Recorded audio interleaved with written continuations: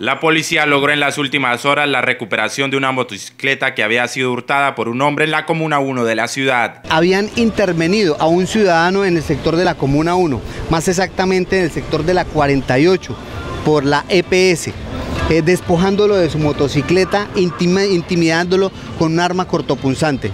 Es así como gracias a la información suministrada por la ciudadanía y en tiempo real logramos dar captura a este delincuente.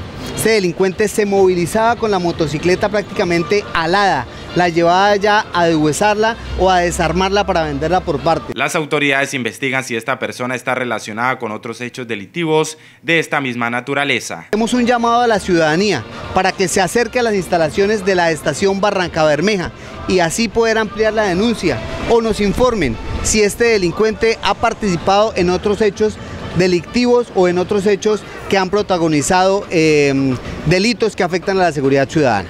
Estamos revisando los elementos materiales probatorios con el fin de verificar si este delincuente ha participado en otros hechos delictivos de todas maneras, lo más importante es el agradecimiento a la ciudadanía, la solidaridad que tienen entre vecinos, entre ciudadanos para denunciar, para informar en tiempo real y lograr erradicar los delincuentes que acechan en este momento el municipio de Arrancabermeja. En menos de una semana, la Policía Nacional ha logrado recuperar dos motocicletas que habían sido hurtadas en diferentes barrios de Barranca Bermeja.